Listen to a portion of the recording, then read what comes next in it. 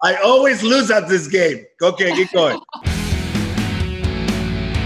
Never have I ever partied at Pride. yes, I have. Yes, I have. Maybe, maybe this. I'm gonna do it low because it's maybe. We were in Cape Cod. Oh, I, I didn't go to Cape Cod. All of us, every hand should go up. We all went. I, I didn't go. That's true. You missed out. It looked fun. Never have I ever ordered a cocktail with a dirty name.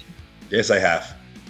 Well, I used to be a bartender, so I used to make them all. you kidding me? I mean, you get the classics, of, you know, the blowjobs, of you know, B50, uh, the uh, Sex on the Beach. But there were other ones that they would come up with, and I would just, I didn't even know what it was. What's in it? And then I would have to just come up with it. Well, yeah. What what cocktails? Sex on the Beach might be my one. I don't know if a Jim Jones counts. That might just be a, a, a scary name. Dirty. That's a rapper name. Listen to Jim Jones. It's a lot of stuff, but it tastes like grape Kool-Aid. Yeah. Isn't there one called Slippery Nipple? yes, there is. Yep, I've ordered that. It's that. delicious. Never have I ever been in handcuffs. In real life, no. In real life, it, it could be for fun. It could be for. Uh, I still think not. I don't think. I mean, does Ty yeah. okay, that- Christian Grey. Ooh. yeah. It was the plastic kind, so I don't know if that fully. No, that counts. That counts. Never have I ever gotten pulled over. Oh,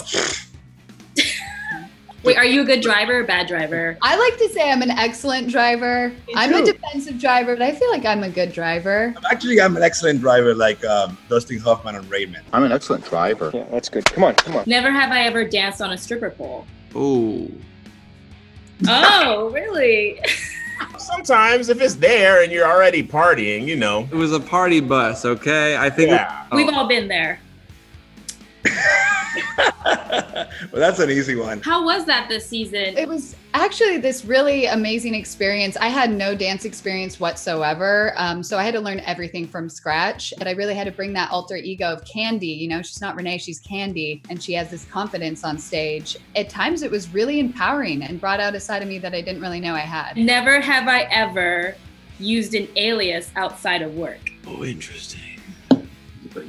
What names? What if I give you the alias? I can't use it no more. Yeah, yeah. That's the whole. I be burning us. Yeah. Yeah. Never have I ever snooped on someone else's computer.